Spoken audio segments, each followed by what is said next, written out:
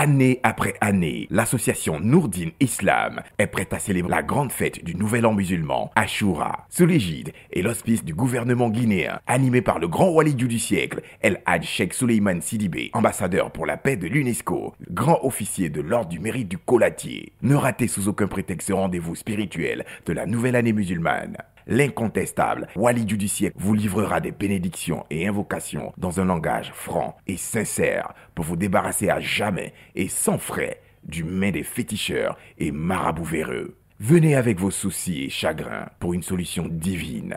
Mercredi 17 juillet 2024. Venez donc recueillir pour vous et les personnes qui vous sont chères les bénédictions du chèque au cours de cette journée de communion du Nouvel An musulman, ce que l'on ne vous donnera jamais gratuitement pour plus de bonheur, de paix et prospérité pour nous et notre pays, la Guinée, l'Afrique et le monde entier.